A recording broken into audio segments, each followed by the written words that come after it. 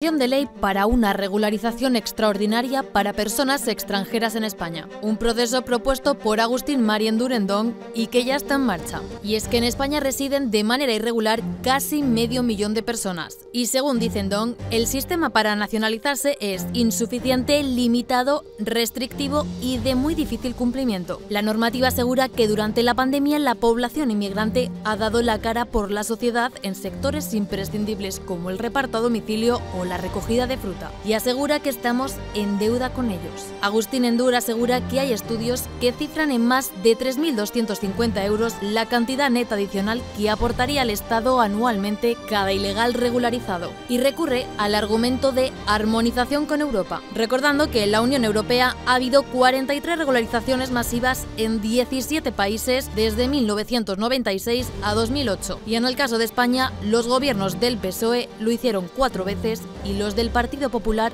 otras dos. Bueno, lo que dice eh, ese proyecto, esa proposición de, ley presentada gracias a que sí que se han suscrito eh, la cantidad mínima que se necesita para presentar, eh, de firmas que se necesita para poder presentarlo al Congreso de los Diputados, es que, según un estudio de la Universidad Carlos III, los inmigrantes que ahora mismo están de forma ilegal, si se nacionalizasen, aportarían de media anualmente cada uno de ellos más de 3.000 eh, euros a las arcas públicas. Otros consideran que desde luego, teniendo en cuenta las condiciones que se generarían, no sería tal esa cantidad. Y lo que me llama la atención es el argumento de la armonización con Europa. Se dice que en 17 países de la Unión Europea se han hecho regularizaciones masivas en los últimos años y cita las que se ha hecho en España, que recordemos hay dos del Partido Popular, y cuatro del Partido Socialista. van a faltar nunca. Vamos a ver. Lo que está viendo, primero es una invasión. En España, contra España, en Europa y contra Europa. Segundo, lo que está viendo es un reemplazo cultural. La Agenda 2030, toda la agenda woke, tiene un objetivo, destruir patrias e individuos. ¿Cómo lo hacemos? ¿Dónde está la cuna de la civilización? Europa. Y en ese sentido, y los valores judio-cristianos, de la libertad individual. Hay que aniquilar esos valores, hay que aniquilar lo cristiano y lo culturalmente cristiano. ¿Cómo lo hacemos? Con una invasión migratoria y con un reemplazo cultural. Segundo, todos estos que están en situación irregular lo que tienen que hacer es volver a sus países de origen, no nacionalizarlos. Con ese argumento económico de lo que van a aportar, volvemos al cuento de los que vienen a pagarnos las pensiones. No hace falta, las pensiones no las podemos pagar nosotros muy bien si hubiera una, asignación eficiente de recursos, un código de buenas prácticas y gastáramos el dinero lo que, lo que tenemos que gastar y no en toda una ingeniería ideológica perversa, que es el marxismo cultural.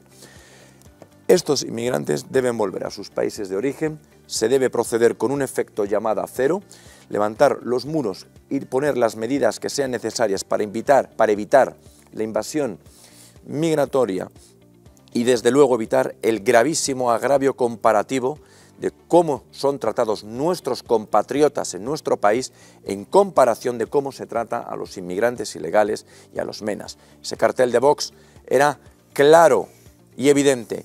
700 euros un compatriota, 5.700 euros un inmigrante ilegal. Y Eduardo, ¿hay una invasión como está hablando Rubén Herrera de Castro? No, eh, eh, lo que sí hay es un efecto llamada, obviamente. o sea, que una invasión. no, no, eh, hay que distinguir y tampoco hay que poner, hay que poner muros, tampoco hay que poner muros a la inmigración. Eduardo. muy bien. Eduardo, Eduardo. Lo que, lo que hay que hacer lo que hay que hacer es hacer políticas migratorias inteligentes. Nada de banderas, de patriotismo, sino de estudios, informes, personas y hacer políticas de inversión en los países Dice eso que hay que inmigración y sobre todo también la lucha contra las mafias. Eso es lo que hay que hacer. Hay que no hay que poner muros, ni banderas de España en la frontera, ni, que, que no, van a invadir, ni el marxismo cultural, nada. Hay que hacer esto analítica y objetivamente con trabajos serios de inmigración y políticas serias. Perfecto. Lo que sí que echo de menos son políticas de apoyo en ese sentido de la Unión Europea, que no nos abandone a un país frontera. Que nos invadan mejor. No, no, no, que nos Más invadan para que mejor nos invadan, ¿no? Que no nos invada a nadie, aquí nadie nos va a invadir. estamos invadidos. hay que poner estrategias estamos invadidos, inteligentes. Que estamos siendo reemplazados. Ni banderas de España, ni himnos, ni historias. Hay que hacer trabajo serio porque estamos hablando de vidas que se pierden en el mar. Roberto Eso es muy serio.